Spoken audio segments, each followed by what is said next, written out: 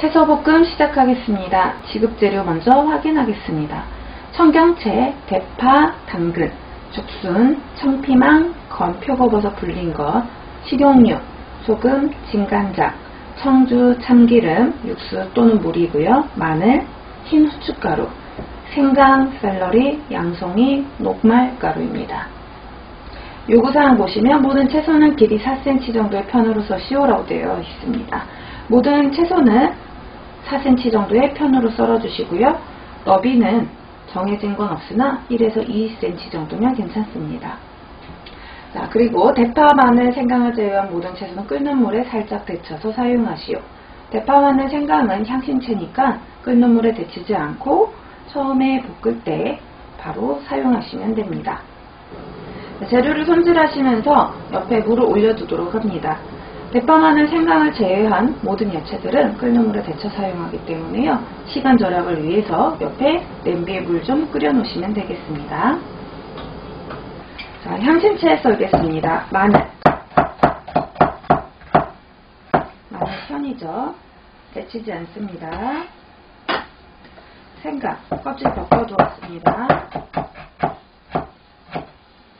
모든 재료들은 껍질을 모두 벗겨두었습니다. 당근, 생강, 지저분한 부분 다 정리해 두었고요. 항상 재료를 접시에 놓으실 때는 깨끗하게 놔주시기 바랍니다.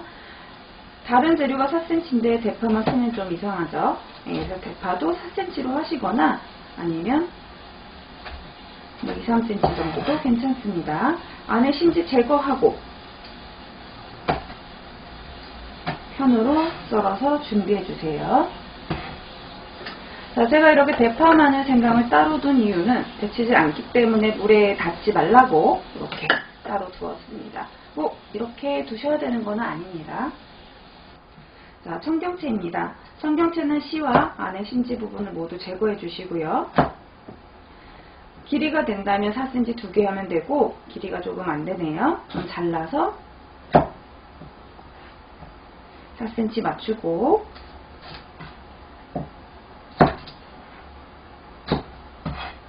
편 썰어 두었습니다.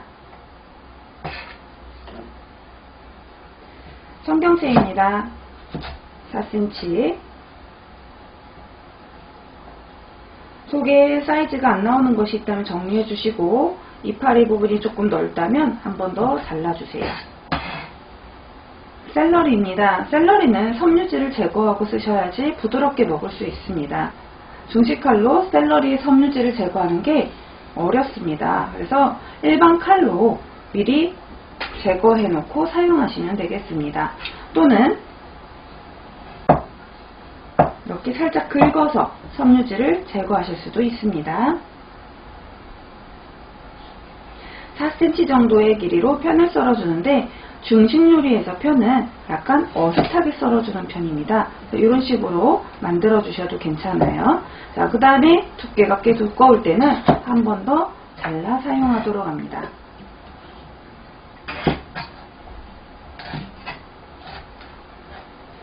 자, 당근입니다. 당근도 4cm 맞추고요. 동굴에서 썰기 힘드니까 밑면을 살짝 깎겠습니다.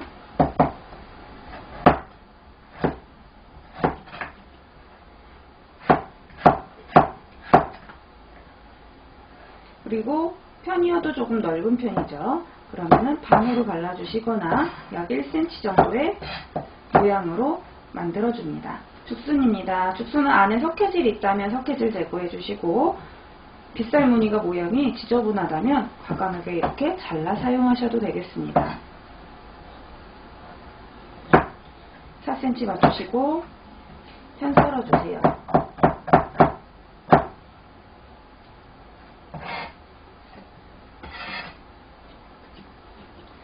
양송이입니다. 양송이는 기둥 부분이 조금 지저분해서 정리했고요. 색깔이 이렇게 누렇다면 한번 껍질을 벗겨 사용합니다. 시험 볼 때 캔 양송이가 나온다고 되어 있습니다. 캔 양송이는 껍질을 벗겨 사용하실 필요 없고요. 그냥 편 썰어 쓰시면 되겠습니다. 지금 쓰는 양송이보다 생 양송이보다요 색깔이 훨씬 누렇고 미끈미끈합니다.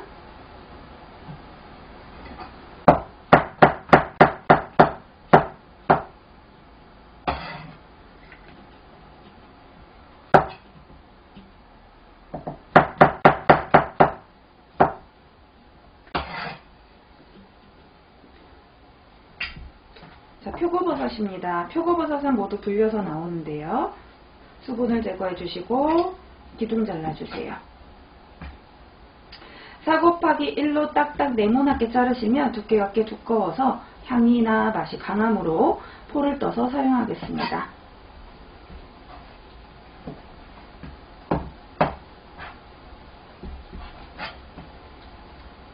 그리고 편썰겠습니다.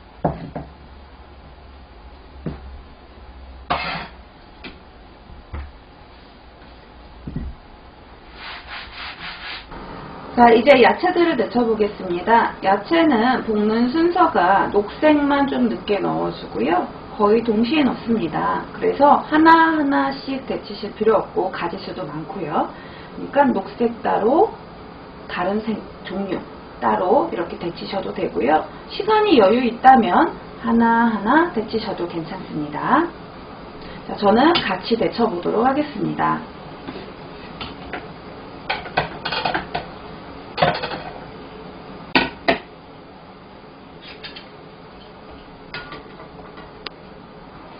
야채를 데치실 때는 끓는 물에 소금을 조금 넣어주고 데치시는 것이 훨씬 좋습니다.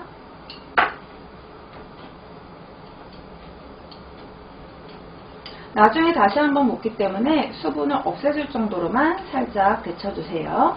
그리고 찬물에 한번 헹궈주셔야 더 이상 익지 않습니다. 그래서 찬물에 한번 헹궈서 물기를 빼고 놓으시면 되겠습니다. 물기 제대로 제거 안 하시면 나중에 볶을 때 기름이 튑니다. 다칠 수 있으니까 꼭 수분 제거해 주세요.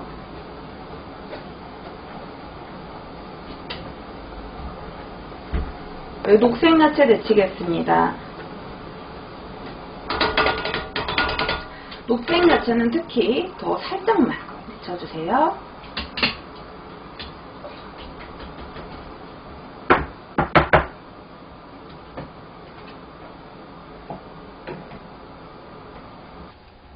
자 이제 채소볶음을 준비해 보겠습니다. 녹말가루랑 물이랑 동량으로 한 수저 한 수저씩 넣어서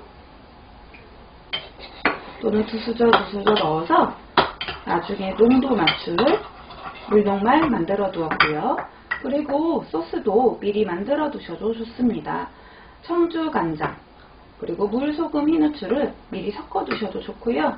손이 빠르시다면 바로바로 바로 넣어주시면 되겠습니다.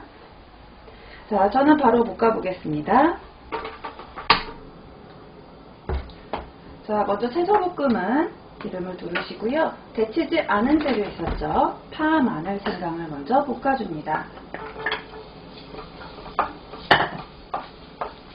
자, 파, 마늘, 생강을 볶으면서 향을 빼주세요.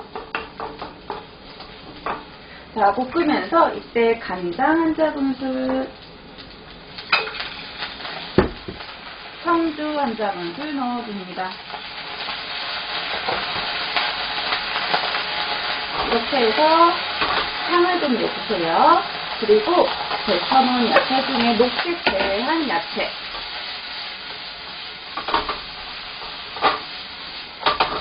볶아주시고 녹색은 제일 늦게 넣어주도록 하겠습니다. 윤기나게 볶아주면 물 3분의 1컵 정도 야채가 한 반 정도 잠들 정도 물을 넣어줍니다. 그리고 데쳤기 때문에 오래 끓이지 않습니다. 지금 그냥 소스 간 맞춰볼게요. 소금 두 손가락, 흰 후춧가루, 자, 그 다음에 제가 녹말가루랑 물이랑 섞어서 맞춰 놓았죠. 요거를 한 번에 다 넣으시지 마시고요. 조금씩 나눠가면서 끓는 물에 농도 보면서 넣어주세요.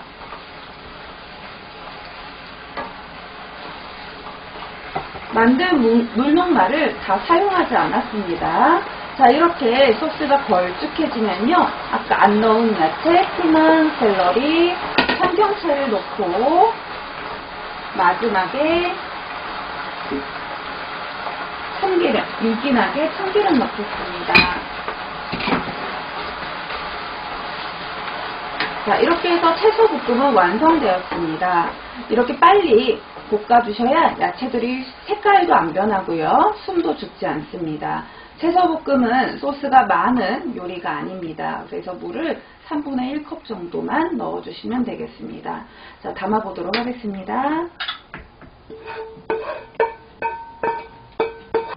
자, 채소볶음은 사이즈들이 다 비슷하게 나와야 되고요. 국물이 흥건하지 않게 해주시고 지나치게 까만 색깔이나 흐린 색깔이 나오지 않게 해주시면 되겠습니다. 채소볶음 완성되었습니다.